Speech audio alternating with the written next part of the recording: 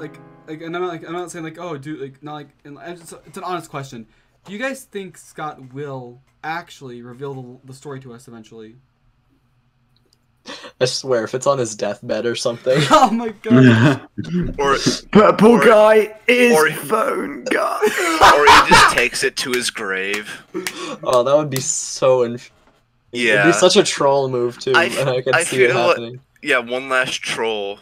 Oh You know, gosh. go out with a Man, bang. you have to go to his grave to find the timeline. It's like Yeah, you national have to dig- treasure. Dig up his grave, and it's just the FNAF You find a chest. clue. No, no, no. it's the FNAF in real life. No, no, no. You you dig up his grave, and it's just the FNAF 4 box. And to open the box, you find you find a paper, and it's just like you need to go to Antarctica and dig up this other. Tre- it just becomes national treasure for the FNAF lore. It's true. No, you open the box and it says the world is actually flat. Scott was a flat earther the whole time, and that's that's integral to the lore, of course.